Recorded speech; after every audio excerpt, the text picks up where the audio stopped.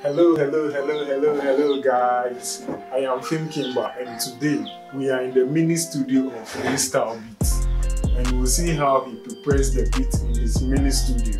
He's a Ghanaian and upcoming music producer, and today we'll see how he does the magic.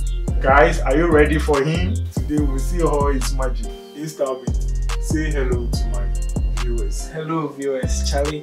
Today we are come to make five beats over. So let's get straight into this and cook up something real quick. We have this hat, this nail, this cake, and I made this 808 purposely for this vlog. Let's get into it and start cooking the beat. So drill beat, you want this pattern like one, two, three, one, two. So you can hear the one, so That's the pattern you want. So this is it. One, two. Spice it up a little bit with hi hat rolls. The mm-hmm. same hi hat.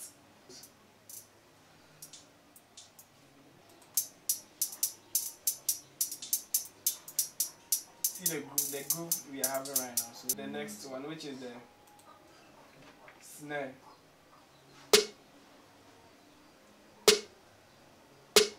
So the snare with the hi hat, we have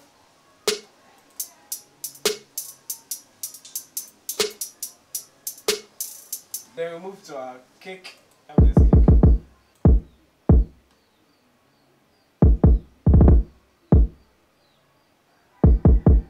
I really love to make my drums first when I'm making my drill beats. So I get the groove and the groove of everything. With the kick we have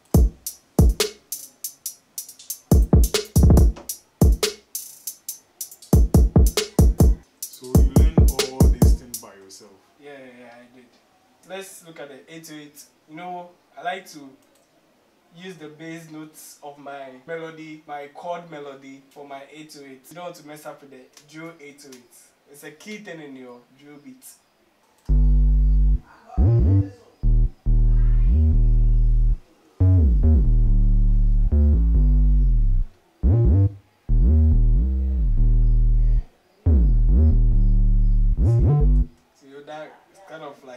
Nice pattern over there with some couple of slides. Don't mess that out in your drill beats. And I'll get to the melody real quick and show you the bass notes of my melody because that's what I use for the 8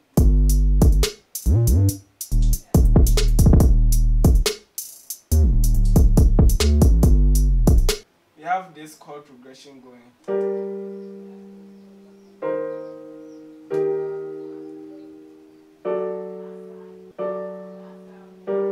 Show you that way the 808 I was talking about. It follows the chord progression.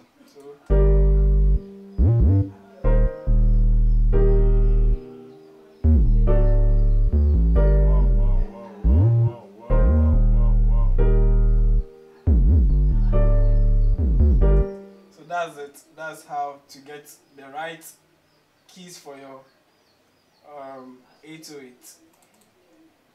So you just copy the bass notes. So these are my bass notes. Freestyle Beats, I realize you are using the keyboard and the grand piano. They are keyboard on your laptop. Do you know how to play a keyboard? Actually, I don't know how to play a keyboard, bro. What you have to know is that most of them give you the keyboard interface where you can just punch the melodies in real quick. So just be punching them. And they give you scales you can use so you, you don't be out of the top melodies.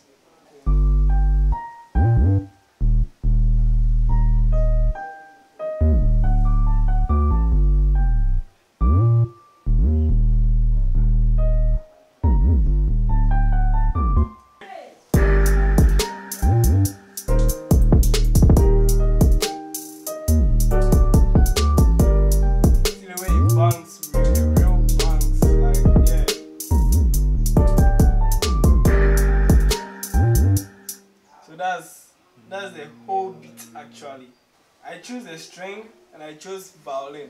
So there's the sound. So I decided to play this pattern with it. And it's no new pattern. If you if you check it, it's just like my melody, the bass notes. This one is just down here. But I wanted to switch it up a little bit. So I brought it up an octave.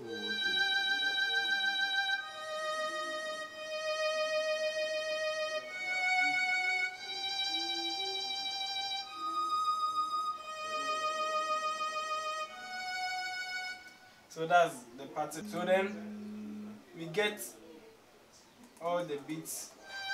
So Even the beats. see, it gives yeah, it gives it a different level of oh, another vibe.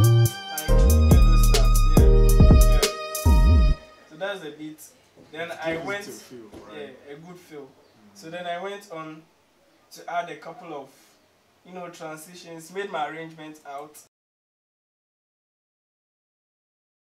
To get this, actually, when you listen to beats, it's a loop. You have your um your chorus and your verse, then chorus come back, then the verse continues. Wow, wow, wow. Yeah. And you know I can't forget this. I tag. So I have my tag over here. Yeah, why the name is Star? You know your producer tag is one of the main things you shouldn't forget in your music production. I chose A star because A represents a higher grade. Hmm. So I'm also bringing a higher grade in my music production, a different vibe. So I decided to choose style, so like A style. Yeah. So I I just got someone to record it for me, edited it a little bit, and we have this now. Yeah. So guys,